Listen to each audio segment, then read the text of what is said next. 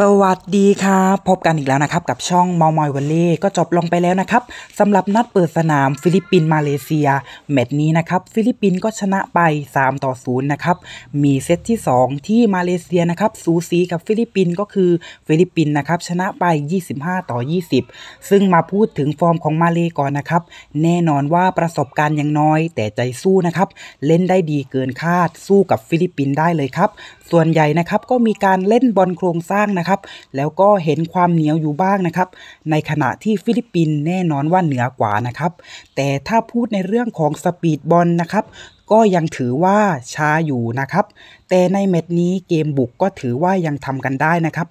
ไม่ว่าจะเป็นการตบหรือบอลเร็วนะครับ ของฟิลิปปินส์ก็ทำคะแนนได้ดี แต่เมื่อเจอไทยนะครับ ในวันพรุ่งนี้ก็ต้องรอดูกันว่าจะเป็นอย่างไร